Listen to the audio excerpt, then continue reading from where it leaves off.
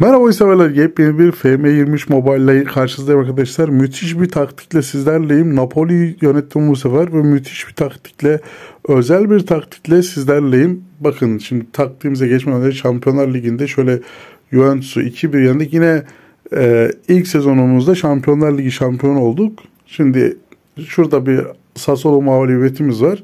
Gerisi zaten şöyle Inter'e bir yerimmişiz, City'ye bir yerimmişiz. Evet City çok güçlü cidden. Ama genel itibariyle şöyle göstereyim. Lig sonunda e, neredeydi o? Bizim ha. Lig sonunda görüyorsunuz e, 76 gol attık. Ve bunların çoğu Osimen'e ait. E, size göstereceğim arkadaşlar. Müthiş taktiğim var. E, şöyle gol kralına gelelim. Oyuncular. 35 golle görüyorsunuz Osimen. E, asist kralına da geleceğim. Ve nasıl olduğunu da size göstereceğim asist kralına geldik. Zielinski görüyorsunuz 18 asist dedi. Asist kralında arkadaşlar. Ee, şimdi şöyle bir şey. Osimen'e gelelim. Taktiğe geçmeden önce görüyorsunuz 46 maçta 46 gol 4 asist. Ee, Zielinski görüyorsunuz gollerini. Şöyle geldik. O da 49 maçta 21 gol ve 25 asist. Dikkat edin 25 asisti var. Peki nasıl? Size müthiş korner taktiğini anlatacağım ama o bir dahaki videoda gelecek. Tamamen kornerde bol gol bulmayla arkadaşlar. E, taktiğimize gelecek olursak özel taktik 4-2-3-1. Burada sahte 9'umuz önemli. Sahte 9'da e, benim Zielinski vardı. Cezalı olduğu için o oynamadı. Görüyorsunuz e, modern bekler var. Standart beklerimiz var. Standart stoperlerimiz var daha doğrusu. Bir tane merkez orta saha, saha, bir tane gezen orta saha. Şöyle göstereyim. Bir tane gezen orta saha, bir tane merkez orta sahamız var.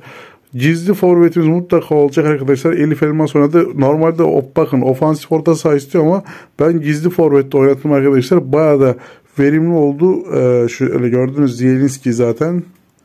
O da burada. Hatta onu bir yerine koyalım. Şöyle bastık. Elif Elmas'ın yerine şöyle Zielinski'yi tıkladığımızda evet görüyorsunuz normalde ofansif oyun kurucu olarak ama ben gizli forvet olarak kullanım arkadaşlar. Müthiş gol, e, gol grafiği var. Müthiş asistleri var. İnanın e, süper bir şey uyum sağladılar Osimhen'le. İkisini tebrik ederim. Görüyorsunuz iki tane kanat forvetimiz olacak. Burada e, yapacağınız transferler de önemli. Evet arkadaşlar 4-2-3-1 taktiğimizde hücum, dar alan, e, genişlik, tempomuz normal ve yaratıcılığımız yaratıcı şeklinde olacak. Bakın çok önemli ve kritik maçlarda özellikle deplasmanlarda bunun altını çiziyorum. Kontrol. Sadece kontrol yapın gerisini aynen bırakın.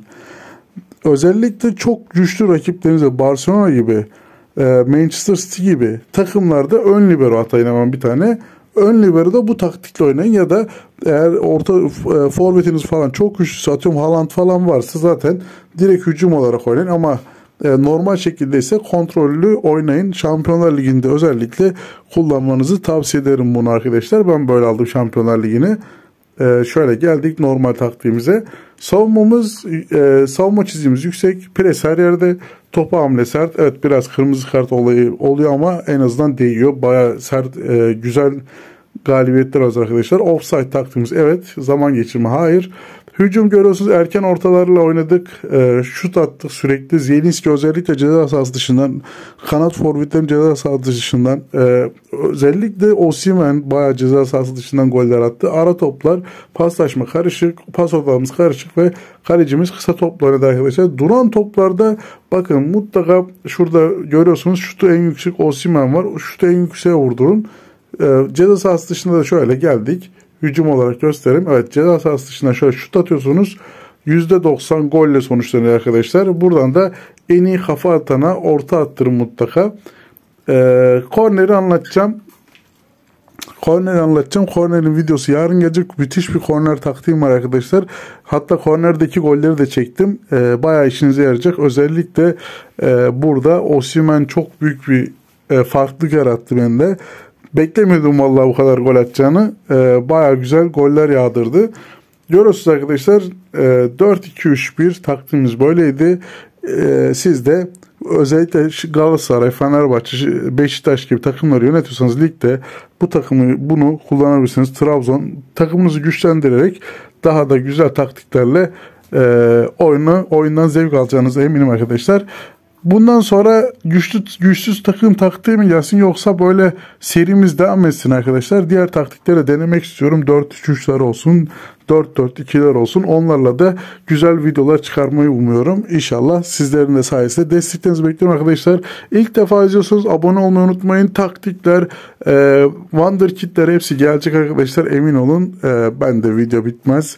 Siz isteyin. Ben seriyim önünüze tek yapmanız gereken yorum atmak, like atmak ve abone olmak. Hadi Allah'a emanet olun.